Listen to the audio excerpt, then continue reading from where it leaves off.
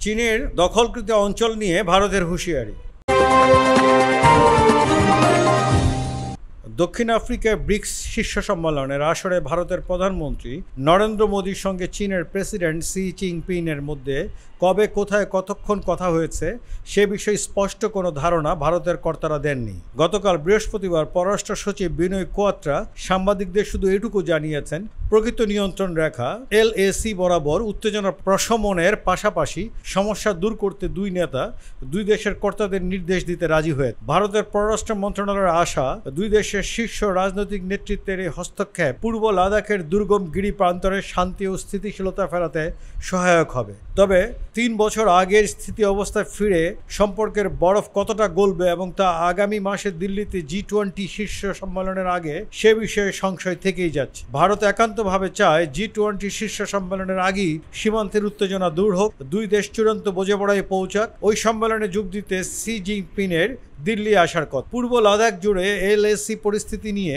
তিন বছর ধরেই ভারতের গলার কাটা হয়ে খসমচ করছে। দুর্গম এলাকার বিস্তীর্ণ ভারতীয় ভূখণ্ডে কংগ্রেসের দাবি মোট দুই হাজার বর্গ কিলোমিটার।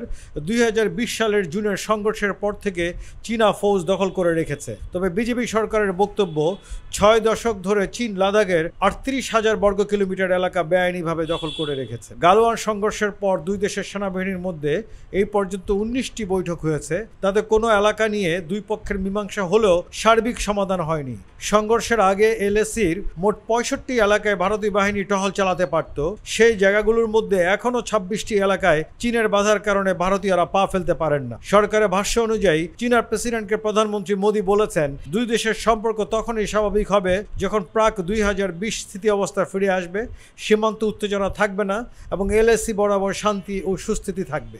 ভারতের চিন্তার দুটি দিক, একটা চিন্তা সামরিক দিক থেকে, অন্যটি রাজনৈতিক। দুই সালের রক্তক্ষয়ী সংঘর্ষের পর চীন সীমান্তের দিকে ভারতের বেশি মনোযোগী হয়েছে। এলএসি বরাবর যে ঢিলেমে ছিল, তা কাটাতে ভারত নানা রকম প্রয়োজনীয় অবকাঠামো তৈরির দিকে নজর দেয়। সড়ক নির্মাণ, উপযুক্ত ঘাঁটি তৈরি, বছর বর সেনা উপস্থিতির জন্য প্রয়োজনীয় অবকাঠামো তৈরি, ভারী সমরাস্ত্র নিয়ে যাওয়া, ক্ষেপণাস্ত্র মজুদের বন্দোবস্ত করা হয়। এলএসি জুড়ে চীনের উপস্থিতি ভারতের চেয়ে বেশি। দুই দেশই অন্তত পঞ্চাশ হাজার করে সেনা মোতায়েন করে রেখেছে।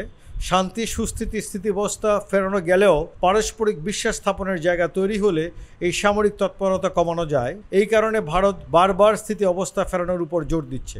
দ্বিতীয় চিন্তা রাজনৈতিক। ভারত এখনও আনুষ্ঠানিকভাবে স্বীকার করেনি। দুই হাজার বিশ সালের সংঘর্ষের পর ভারতের কয়েক হাজার বর্গ কিলোমিটার জমি চীন অন্যায়ভাবে দখল করেছে এবং ওই সংঘর্ষের পর সর্বদলীয় বৈঠকে প্রধানমন্ত্রী নরেন্দ্র মোদী বড় মুখ করে দাবি করেছিলেন, এলএসি পেরিয়ে কেউ ঢোকেনি।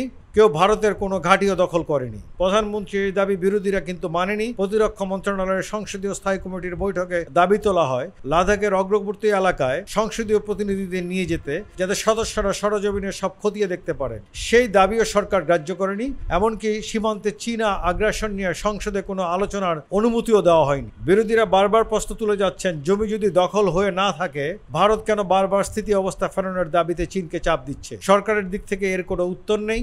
সম্প্রতি কংগ্রেস নেতা রাহুল গান্ধী লাদেক সফরে গিয়ে নতুনভাবে ও পুরনো প্রশ্ন তুলেছেন। সেখানকার জনগণ তাকে বলেছেন অগ্রবর্তী এলাকায় যেখানে স্থানীয় ভারতীয়রা এত বছর নির্বিঘ্নে পশুচারণ করে এসেছেন, চীনা ফৌজের বাধায় গত তিন বছরে সেখানে তারা যেতে পারছেন না।